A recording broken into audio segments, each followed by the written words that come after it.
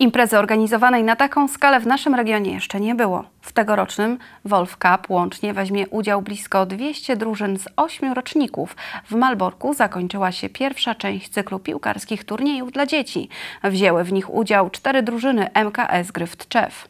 Organizatorem wydarzenia jest Stowarzyszenie Dziecięca Akademia Ruchu. Dzięki współpracy z wieloma partnerami oraz Ośrodkiem Sportu i Rekreacji w Malborku, dysponującym świetną bazą piłkarską, udało się zorganizować jedną z największych sportowych imprez w naszym kraju. W pierwszej czterodniowej części Wolf Cup 2021 wzięło udział 96 drużyn z czterech roczników od 2012 do 2009. Równolegle na 10 boiskach rozgrywano cztery turnieje dla 24 zespołów. Tydzień później, podczas drugiej części Wolf Cup, sytuacja się powtórzy. Znów 96 zespołów powalczy w turniejach innych czterech roczników.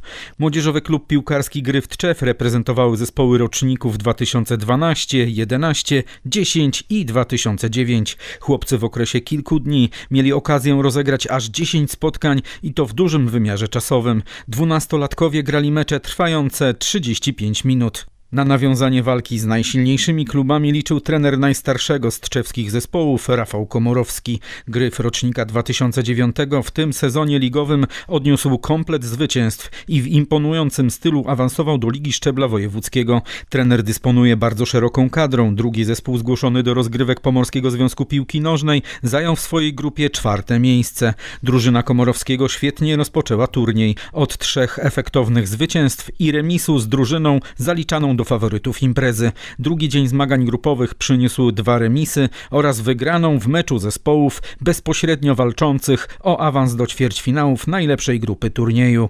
Na etapie ćwierćfinałów tzw. Tak Ligi Mistrzów mecze były niezwykle wyrównane. Trzy z czterech spotkań zakończyły się remisami i konkursami rzutów karnych. Gryf właśnie w karnych musiał uznać wyższość Eskoli Pruszcz Gdański, przez co znalazł się w gronie czterech drużyn walczących o piąte miejsce. Ostatecznie młodzi Tczewianie w doborowym towarzystwie mocnych drużyn, głównie z województwa mazowieckiego, zajęli szóstą lokatę. W tym roczniku wygrał czarny koń turnieju Dragon Pomorze. W młodszych triumfowali Lechia Gdańsk w 2010, Dragon Bojano w 2011 i Gwardia Koszalin w roczniku 2012. Zespoły Gryfa z roczników młodszych prowadzone przez Wojciecha Fabicha, Damiana Nowaczyka i Janusza Fabicha nie zdołały awansować do pierwszej szesnastki turnieju, ale zebrały na Wolf Cup cenne doświadczenie, które z pewnością zaprocentuje w przyszłości.